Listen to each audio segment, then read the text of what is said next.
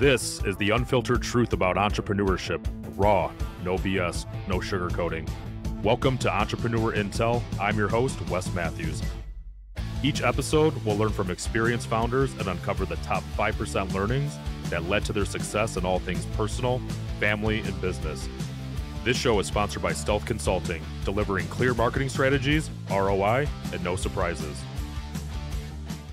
So I'm super excited for today's guest. Uh, introducing today's guest. So he's the founder and former CEO of Moosejaw, uh, which made retail and e-commerce fun and was acquired by Walmart. Co-founder of CrowdRise, the largest fundraising platform for nonprofits in the U.S., and that was acquired by GoFundMe. He's currently the founder of ZECK, a platform reinventing the board meeting process to make it more strategic and efficient. I'm really excited to dive in there. Uh, he's been an advisor to several companies, and this is probably my favorite one out of all your accolades. An honorable, an honorable mention for best breakdance using an old school cardboard mat with an ironic yeah. sense of humor. So, welcome, Rob Wolfe. Welcome. Yeah, no, thank you so much. Yeah, the last one, my brother was actually the breakdancer, and I have a great picture of him, uh, literally as a kid breakdancing on a pad that I send to just about everyone to embarrass oh, him. Oh, that's awesome. Somewhere, yeah. uh, somewhere I read like you, you claim your brother was like way smarter. He was like the smart. Yeah, the he is smarter. Yeah, he's smarter. He's the smarter brother. I would beat him in a fight in any sporting event out. So take me back, like Moose Jaw. Like how, how did how did you get involved, and how did you have the idea to come up with this company? Yeah, so um, you know, I didn't know what I was going to do with my life, and I was I was taking backpacking trips out, uh, mostly school groups. And this is literally, this is pre internet. And we would go on some pretty serious trips. I was working as a guide for a friend of mine who had a guide service along with another friend of mine.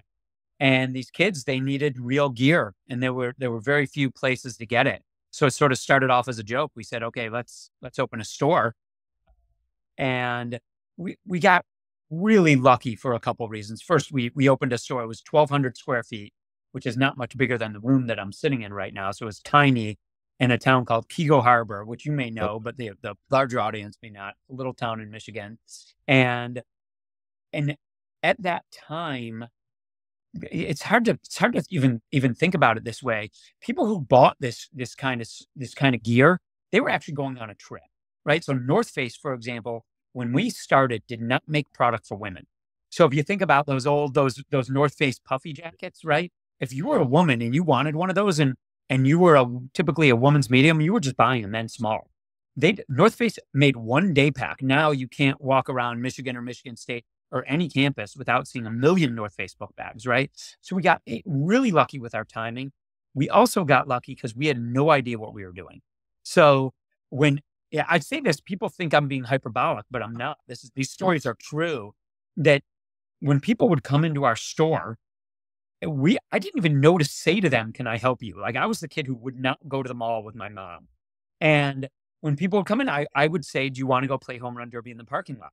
And we really had home run derby set up in the parking lot, and connecting with the customer in unique and interesting ways, which we did by accident. It wasn't a purposeful marketing campaign that resonated. And people would, would used to come and hang out at our store and then stores.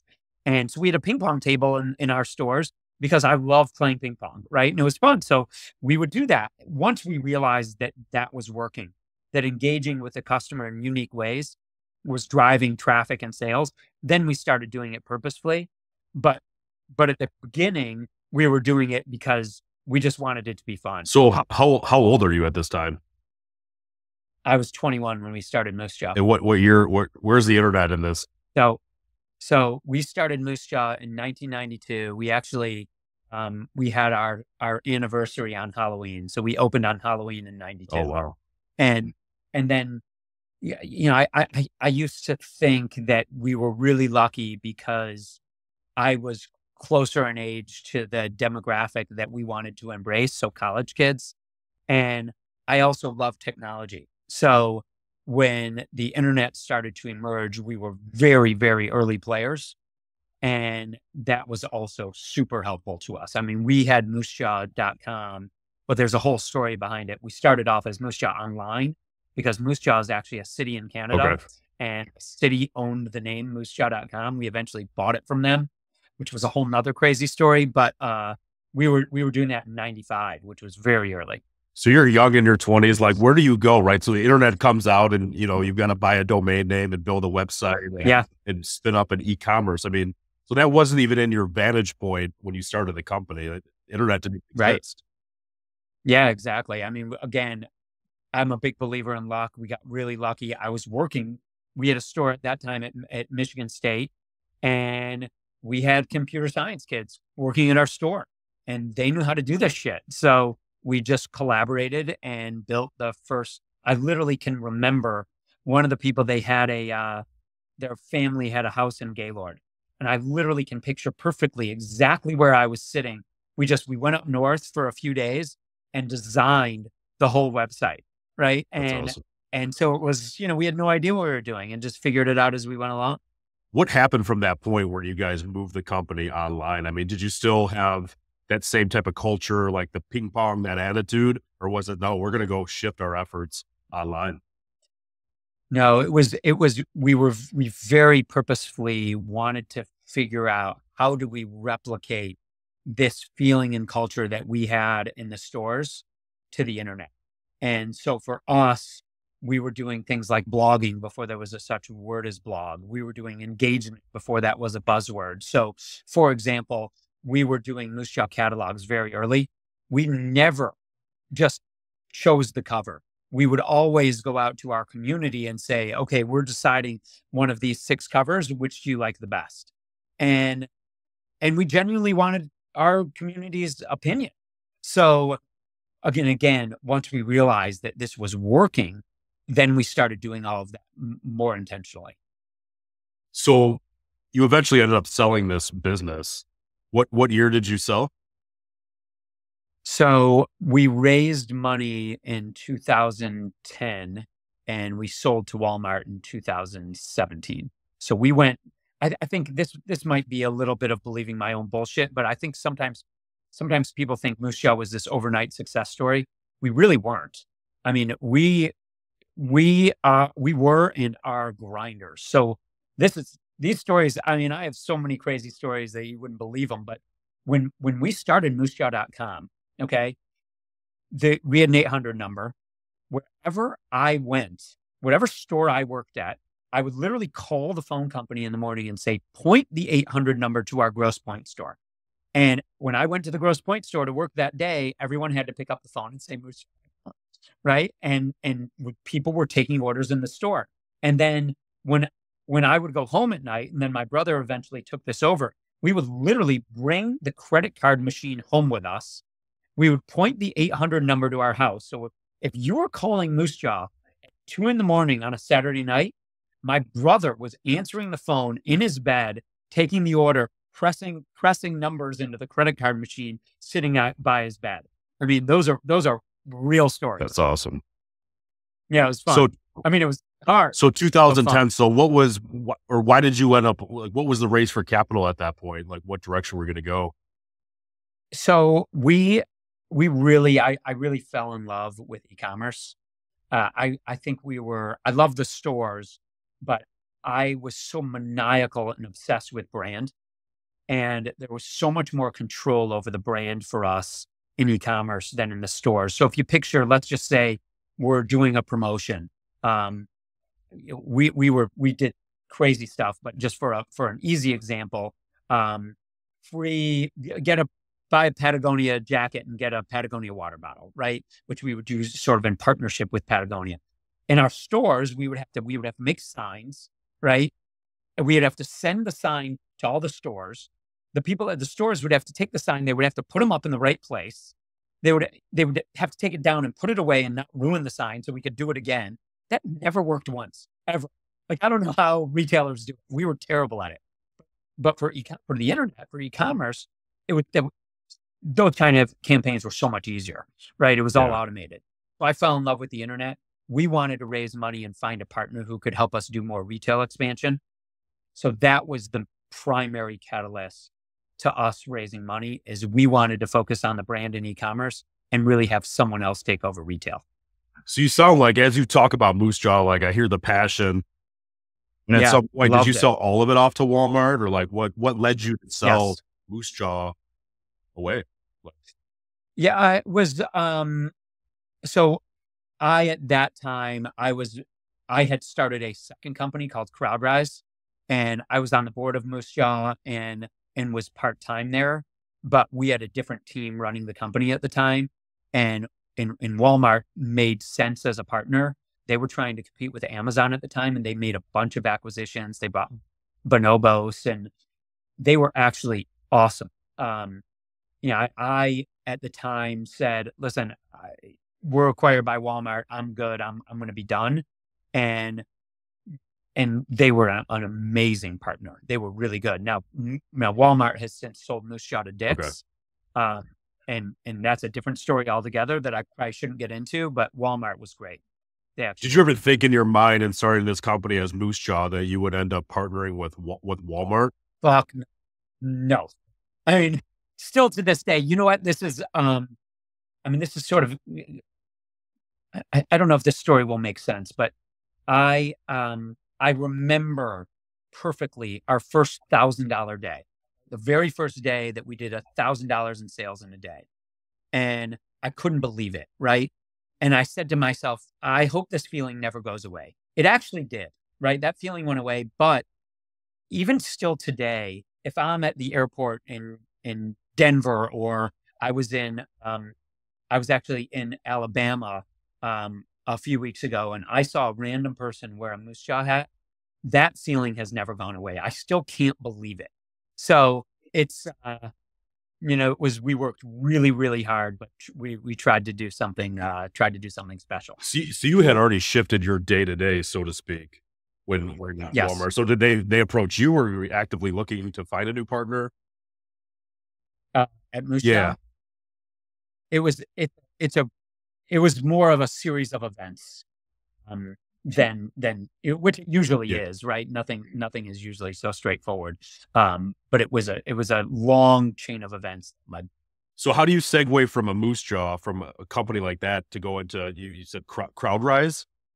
yeah crowdrise was our second company. So um crowdrise was a fundraising platform and we really wanted to have an impact and and do something special or, or, or unique and try and raise money for cause but we didn't want to do it in a normal way.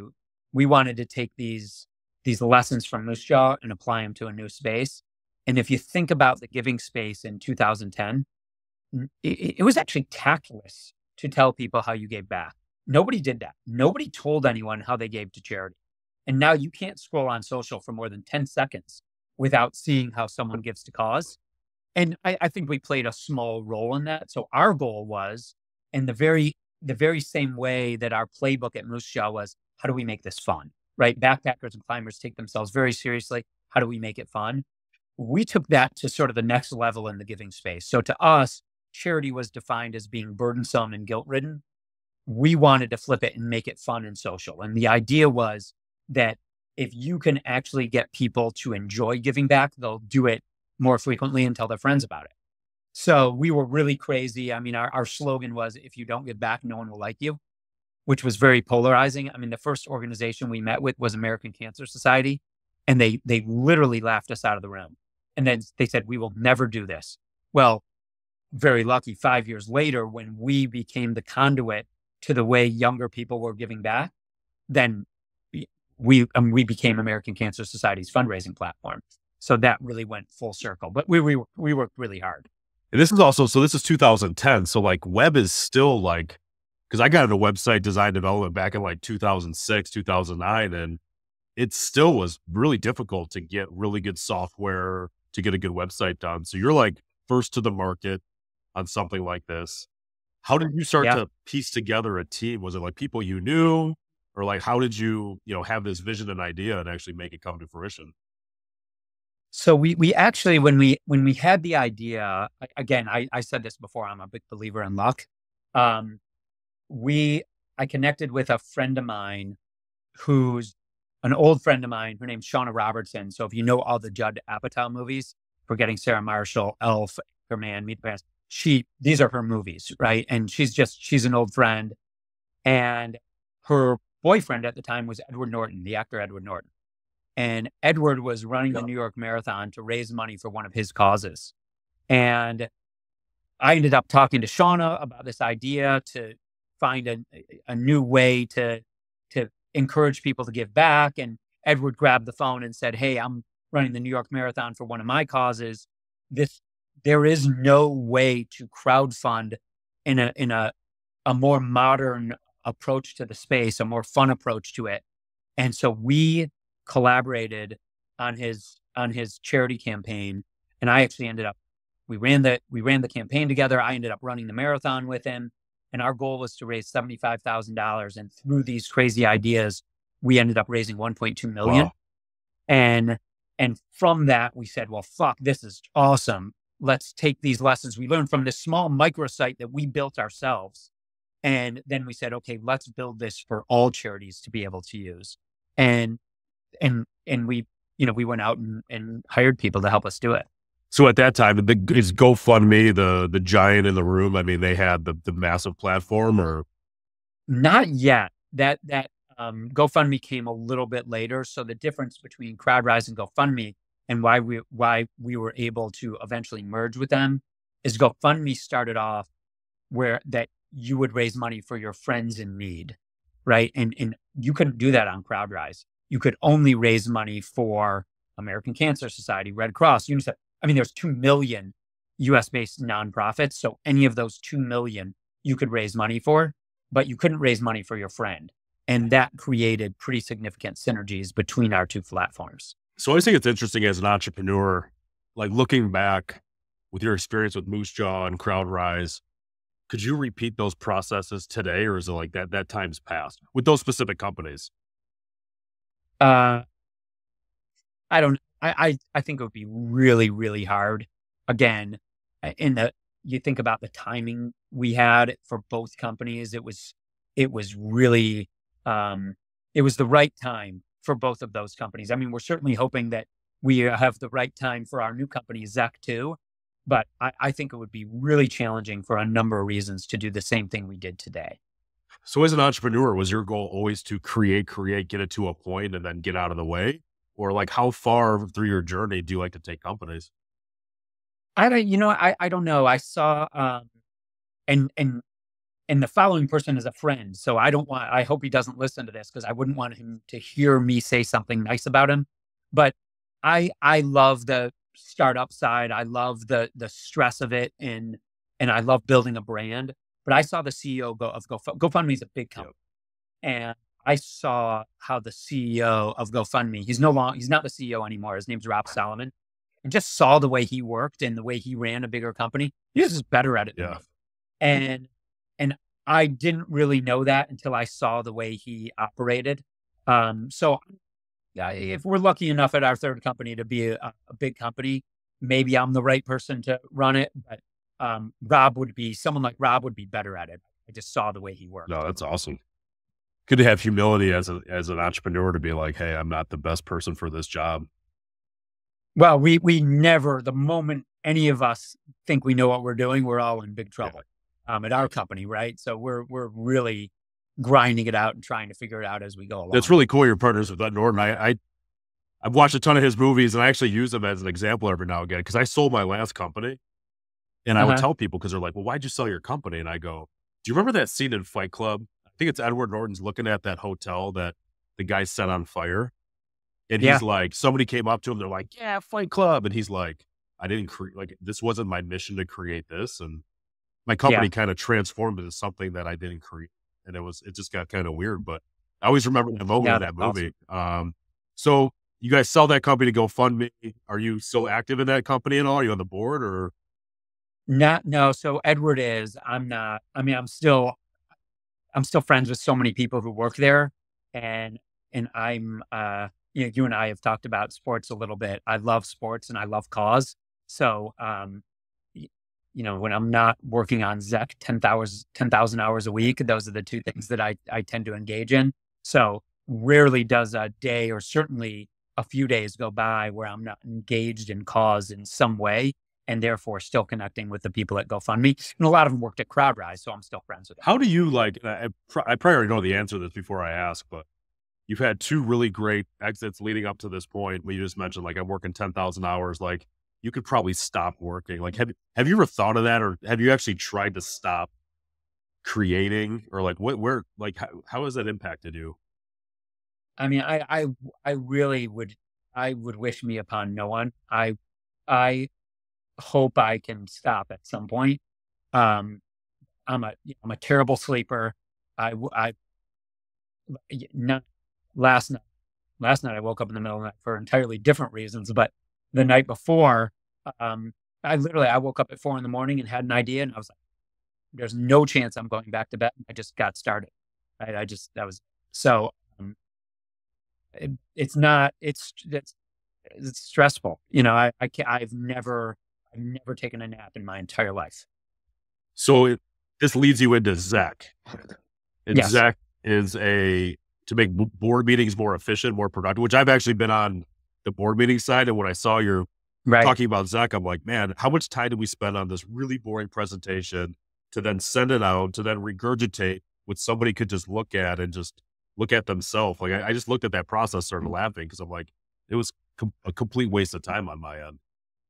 You you nailed it. I mean, we um we really did build ZECK based on our own experience. So between Moose Jaw and CrowdRise, the shortest deck we ever sent to our board was 134 pages, Wow. which is crazy. Right? We had no idea what we were doing. Uh, we spent 100, 150 hours as a team on these presentations, and they were bad. And then we would get into the meeting and quite literally, and we had these amazing sort of famous board members. I mean, one of our one of our our board members at uh, at CrowdRise is now the U.S. ambassador to the Czech Republic. Right? I mean, we had some badasses on our board, and we would get into the room and reread them on a 134 page deck that they had already read. Right? So it was a waste of time for everyone. I genuinely thought that we were the only ones who were bad at it it wasn't until after our companies were acquired and sort of got out there in the world that I realized this angst was universal and couldn't believe there wasn't a solution. So it was our our our team. I, I could tell the whole long story, but our team basically got back together to build ZECK, and we started a couple years ago, and so that's where we're spending uh, all our waking hours now. Do you- have team members from Moose Jaw and CrowdRise? Yeah. So so my brother uh, and Edward Norton, the three of us started ZECK together, and we have our basically our COO and head of product is worked at both Moose Jaw and CrowdRise. Our head of sales was uh, our head of sales at CrowdRise and GoFundMe. The person who runs brand ran brand at CrowdRise and Moose Jaw. So it's again super super lucky. We already sort of speak each other's languages and it you know, can end each other's sentences from day one. Nobody had to learn all that. So is ZECK then is it is it like a SaaS platform, like a month recurring Yes. model for like is it entrepreneurial companies? Is it mainly enterprise level companies or all the above? Or Yeah, it's really any company that has a board. And, and what was unexpected, it's so there's 2 million US nonprofits. They are mandated to have board meetings. So let's just say at a minimum, they have four board meetings a year. So that's 8 million board meetings, and they're all bad, right? So we didn't expect nonprofit to also be a customer, but about a quarter of our customers are nonprofits. And that was totally unexpected. wow. So systems built. What's the goal for ZECK? Where where do you where do you go from here? What's the you know we're really trying to and again we're not i don't want to pretend we're saving the world but we uh, we do think we're doing something transformational i mean literally i am i am certain that none of the work you do or or your listeners you're not signing um, documents with ink and sending a fedex package with those little tabs anymore right you're using docusign yet for our board meetings we insist on using slide decks which were quite literally built pre-iphone I mean, go try to read a deck on your phone. You can't do it. It's impossible. Try to collaborate with it. It's impossible. So we're trying to modernize that process in the, and this might be an unfair analogy, but for lack of a better one, in the same way that DocuSign has modernized the way we sign things. So that's what we're, we're trying to do and build a brand around it. So part of it is, again, there's this through line from Moose Jaw to CrowdRise to ZECK, we think, where we're in this space that is miserable right? There's nothing more miserable or stressful than the board meeting, and we're trying to make it fun. So I literally, I, right before I got on this call, we sent cookies to companies prior to their board meetings to ZECK companies, and one of the cookies says, uh, it says, "Eat this or some whip it at an unproductive board member." Right, and a PE company that takes themselves very seriously just sent me a picture of their cookies that we just sent to them, and they signed one of the cookies saying, you know, thanks so much. Oh, cool. a, few people on our team like that's why, You know, we try yeah. to make it fun. So that's that's what we're trying to do is really build a brand around this transformation. So what what's next? Are you as an entrepreneur? Are you what are your thoughts around AI? You know, what's what's your we're forefront? Super into it. The the mm-hmm. So we we have really pressed AI to be a part of the product, and it is it is actually mind blowing. So it really the way we describe it is it turns you from an author to an editor. So just for example, we have a we we have a monthly all hands for our company. And it usually takes everyone on the team, including me, a couple hours to put your section together. With AI, it probably took me eight minutes and it was better than anything I could have done myself. So I actually think ZECK is a really nice use case for AI because we've built it specifically for executives and it surfaces the information that an executive would care about most. It work, it's it's really cool, and we're just getting started. That's really cool. I'm a you know so I'm a visionary entrepreneur. I'm t- I wait till the last minute to do things, and I had a presentation in front of a group of entrepreneurs. If he's listening, I apologize in advance, but I had to do, and I literally went to Prezi, a presentation yeah. platform, and I built my presentation, and I want to say like yeah five minutes, and right. like downloaded my persona to chat GPT and loaded up all the sl- like I couldn't believe it. So when I showed my team, yeah. they're like, "Oh my gosh, you actually did something!" And then and I'm like, "It took me like five minutes, and it was really good." Right. They're like, "This is actually really good." Yeah. I'm like thinking about 2009 or 2010, right. like, yeah, it would have taken me weeks, or like I would have been able to done. It's just amazing at how fast things are changing. Yeah, you know where we where we've had to spend a lot of time is on the security. So if you think about board meetings and investor updates, the if you go and, and we the backbone of our AI is Chat GPT. Uh, but if you put something in Chat GPT, it goes out into the universe.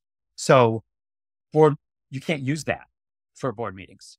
So we've spent a lot of time on security in order to make the AI secure because that's table stakes at ZECK.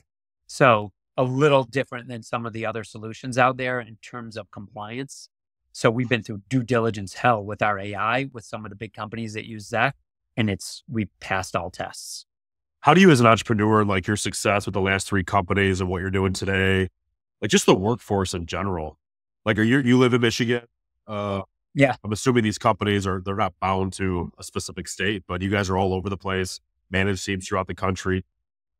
How do you what's what do you see today and for the future for employees or like working for your organization? Like how how drastically different is that from your original days at CrowdRise and Moosejaw? You know what? It's it's it's definitely different, but because we had multiple locations and allowed and also allowed people to work remotely at CrowdRise, there was in our conference rooms, they were at the time there was no Zoom, there were Google Hangouts was what it was every you couldn't go in where there weren't multiple Google Hangouts happening. So we were sort of used to that kind of world. Uh, and obviously, being in room and you could just yell to everybody, "Hey, come check this out," is is different. But I think we've embraced it pretty nicely. I, I don't know if you all use Slack, yeah. but Slack has become a big part of what we do, and we and we are relentless about building systems to make it fun. So I'll give you just one example of something we're doing right now. I mean, we have very few rules at our company, and we've had the same rules at all three companies, but one of them is no yawning. Okay. And so we're very big on coffee and espresso. So we have a contest right now, and it's to, it's for a for a fancy espresso machine, and so everyone is entered into a contest. But we pull in when we pull a name uh, from a randomizer, it's you're out of the contest. Okay right? So, so it's great. It's really neat. And so, uh, in a fun way. So on our all hands the other day, you know, it, we, we pulled a couple names and they were out of the contest. And we're doing, I don't know if you do the, any of the New York Times games like Wordle or, or Connection, but we're all doing, all doing all that stuff all the time for prizes. So we we try and make it fun. And and again, very lucky that people on our team worked at Moose Jaw and CrowdRise, so they sort of know how we like to do this. Yeah. I mean, it's not they know they they built it along with us, so they you know they were on the ground. So is ZECK then? Is that a, comp- a complete virtual company? Yeah, we're entirely remote. Wow. No office. How many team members? So we have 23 people on the team right now, and they're every they're everywhere. So um, you know, my what the, you you forget about the, the some of the some of the stuff you have to deal with as a company that's just not fun, and one of them is getting the tax information from each different state where there are employees, and my brother deals with all that. So I, it gives me great pleasure every I, I probably have one right here. Yeah, state of Pennsylvania, right? For every time something comes in, uh, to send it to my brother, so he has to deal with it. So he ba- basically, we need when we have a new hire, he just says we can't get a new state, right? Yeah, I can't take dealing with yet another state documents. Yeah, no, I hear that. I am definitely not the operations side either. Uh, so I we we got before we go, we got to talk about this the the break dancing and the uh, Yeah. Where where does that come from? Is that your brother? Or Or- we just we just want to make it. We just want to be crazy and make it fun. I mean, and and anything to be different but not take it too far is sort of where we sit. So at Moosejaw and, and CrowdRise and and ZECK, in terms of how far we press the brand, we always say we can talk about French kissing, we can't talk about fucking. Right? That's that's sort of our mindset. Like we we want it to be fun and foolish, but we don't want to make anybody mad. Right? So um, but we're doing stuff like that all the time. And we just emailed our customers yesterday, just literally with a movie quote and said, guess the movie for a chance to win a ZECK hoodie. Right. And, and we don't even have ZECK hoodies. We will literally going to, we are going to make our first ZECK hoodie for the winner. And that was part of the messaging. So we just wanted to be fun. Well, well, I love that. That's you know, here here you are with a handful of companies, super successful. You're sending stuff out, and you're still building. I, I like to use the analogy of like building the plane when it's flying, kind of a deal. Like you put the for marketing sure. campaign out, and you're like, we even have the hoodies. Like you're just going for it. That's awesome. That you're- Yeah. you You know what? It's interesting you use that analogy. I think, and we talk about this at at Moosejaw, and certainly at the beginning of CrowdRise, we were flying the plane and didn't know where it was going to Okay. land. And it's, I think it's really hard to run a company that way. Yeah, we would just literally go from crisis to crisis. I think we've done a better job creating systems so that at least we have a destination, right? We we we we have goals and we know where we want to go, and and we're hell bent on hitting those goals, as opposed to just going from project to project, which is really hard. I mean, we do that also, but at least we have uh, we have more papered goals in mind. Which and then you back into them and figure out, okay, do we have the resources to hit these goals? And if you don't, then let's either get the resources or change the goals. So we really try to not live in fantasy land as we operate the company. Did you pull from like an operating system? Like there's a, there's a ton of them out there. Is there anything that you Yeah. to from, from an entrepreneurial perspective, or not really? just all our failures. I mean, we literally we failed at everything, and and again, lucky to be working with the same group, so we've lived this together, and so it's really it's it's really our own system. That is, that is something special. I think like my last company to my new company, like my partner and I are both repartner back, and it's kind of nice. Yeah, We see things right, or like something's going wrong. We kind of look at each other and laugh, just because like we've been down that path. oh, we get. I mean, our head of sales and, and I were on a call with a normal person, a customer who we didn't know a couple weeks ago, and we got the giggles on the call it, to the point it was inappropriate. It was like we literally, I I had to take a post-it note and put it over my his name's Trey, put it over my friend's face on the Zoom because I couldn't look at oh, it. Like that stuff was, you know, it was great. That's awesome. So, if anybody listening, like how, what's the process of getting involved with ZECK? I know a million companies right now that I think go through this Yeah. issue. And honestly, until I met you, I didn't even know that there was a solution that solved this problem. Like, you know, Thank you. how do people get in contact with it if they want a mm-hmm. demo or they want to, you know, give it a test run? Because it's a, sounds like a really amazing solution for a lot of companies. Yeah, thanks. I mean, just go to zeck.app, Z-E-C-K app. You can you can get on a demo. You probably get one today if you want. Our team is awesome. They're fun. They get they understand the the problem, uh, and we make it really easy. One of our one of our goals is to make the process easy. So it's, you know, I, I'm sure you've purchased a lot of software. Uh, there's nothing more frustrating to me than getting on a call with someone like me and they say, "Hey, this is it's unlimited," and and you get the contract and you find out it's unlimited for three people for the next three weeks, and then they start upselling you like crazy. We're not like that. Uh, again, we're trying to do something very different here, and so ease of use is something that we're pretty relentless about. That's awesome. No, sounds super exciting. Well, Rob, thank you so much. I know you're a super busy guy. Thank you. Got some ideas. You are too. I, I don't. I want to get out of your way there, but thanks so much for coming on, sharing your wisdom. I really appreciate it. Yeah, thank you so much. Appreciate Thanks, it. Rob. This has been another episode of Entrepreneur Intel. Thank you for joining us. For show notes or other episodes, please visit us at entrepreneurintel.com. Until next time.